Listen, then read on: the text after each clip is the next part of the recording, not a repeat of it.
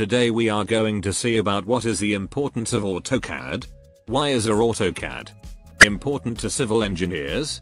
Is AutoCAD drawing important for civil engineering? What is AutoCAD and its benefits? What are the features of AutoCAD? And what is disadvantages of AutoCAD art? Please subscribe to our channel and click the bell button. The AutoCAD enables an engineer to design and analyze the strength of a building. It also helps to solve those problems in a simple way. Civil engineers use this AutoCAD for base map creation. It helps to make better construction documentation. AutoCAD is a computer-aided design software developed by the company Autodesk. Hence the name AutoCAD.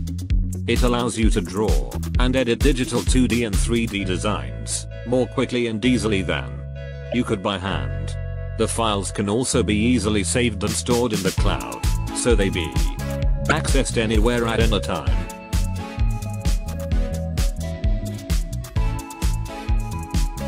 Importance and AM. Scope. Civil engineers design, construct, supervise, operate, and maintain large construction projects and systems, including roads, buildings, airports, tunnels, dams, bridges, and systems for water supply and sewage treatment. Many civil engineers work in design, construction, research, and education. Drawings are important because they are used to communicate the technical details of a project in a common format.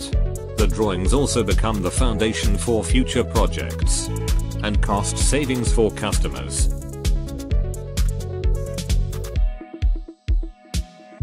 Main features of Autodesk AutoCAD are 3D modeling and visualization, photorealistic rendering, solid, surface and mesh modeling, visual styles, PDF and DGN, import export underlay, section planes, 3D scanning and point clouds, 3D navigation.